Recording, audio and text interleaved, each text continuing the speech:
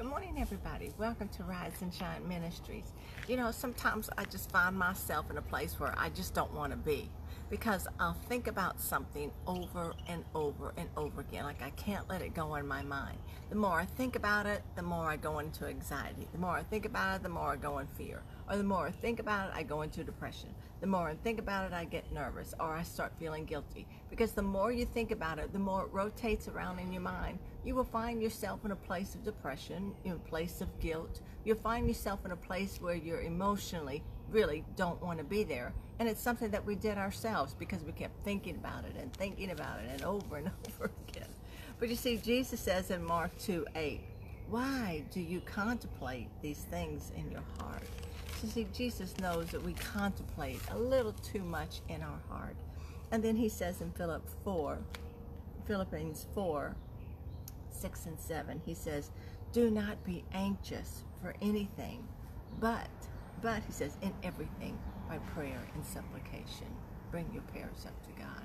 You see, when we start getting on that roller coaster train and, and we're just moving and moving and thinking and worrying and worrying and thinking, we have to stop. And the first thing we should do is pray. Just stop and pray. And the second thing we should do is be so grateful for the things that we do have.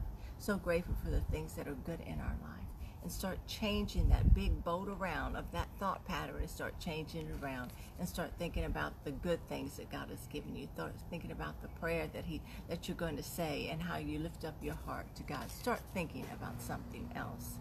It seems a little hard, but it's not impossible because nothing is impossible with God. Let me pray.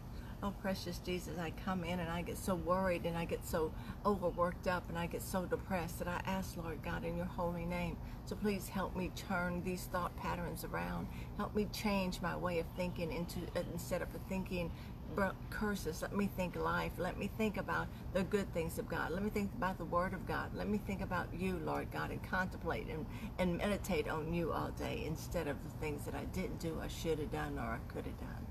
Thank you, Lord God, that you give me the strength to walk out of that repetitious cycle of wrong thinking.